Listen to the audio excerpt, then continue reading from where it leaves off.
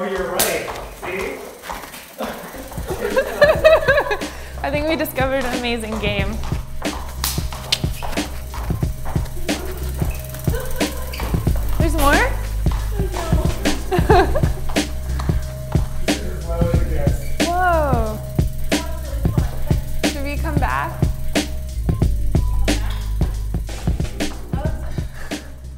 We started in the end of 2011 and um, the project came out of a desire to um, kind of create a space where we could shift people's expectations of how they were experiencing art um, and also for artists who are making work to kind of have a chance to make site-specific work within a certain you know set of limitations, that being the stair architecture.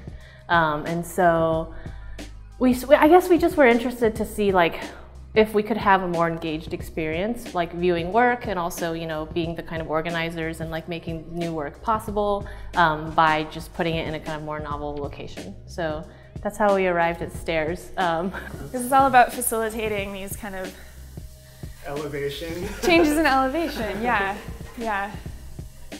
So we're interested in like ramps, ladders, escalators, elevators, all these kind of strange moments in architecture where you have to, you're moving through a space and you don't usually stop there. The first space we used was kind of a space that we had, you know, some degree of access to because we just wanted to kind of try out our idea. But since then, we've worked in a, range of spaces. Sometimes they're, you know, in people's homes. Sometimes they're um, spaces that, you know, aren't really the best for putting artwork in or are really far away or hard to get to or, you know, they're usually kind of hard to get to.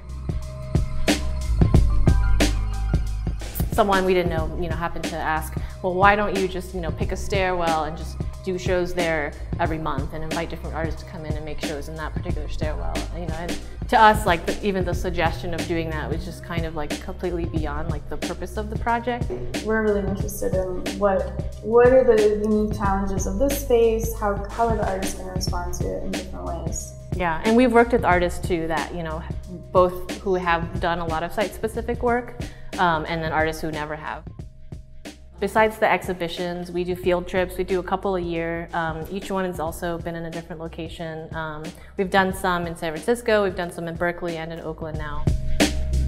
Sometimes it's more of like a history walk, sometimes it's more of like um, doing like activities in a park and you know there's a lot of kind of like spontaneous components. You know we try to kind of have this element of surprise for people that come on the field trips. So the whole idea of the gallery was like a place where you weren't standing still, you weren't like spending time with the art, it was becoming almost a stair or a pass-through place was like this weird phrase we came up with initially.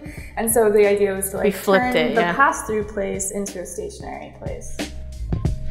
I mean, I think for us, it's really important to kind of change people's understandings of places that are, you know, pretty familiar to them already. Provide a different experience of kind of the everyday. Um, and, I, and also, you know, the fact that we can move to where we need to be and kind of go to where things are interesting to us, you know, or to some of the people that we're working with is a really nice kind of freeing thing that still allows us to do a lot of programming even though we don't have a lot of resources and we don't have a physical space and, you know, it's something that is a project that we do on top of a lot of other things that we're both involved in.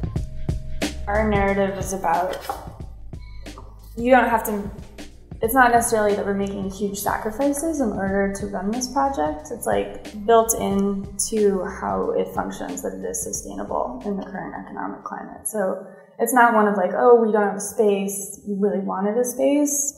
Mm-hmm, Stairwell's mm-hmm. is all about being fluid and adaptable and kind of itinerant.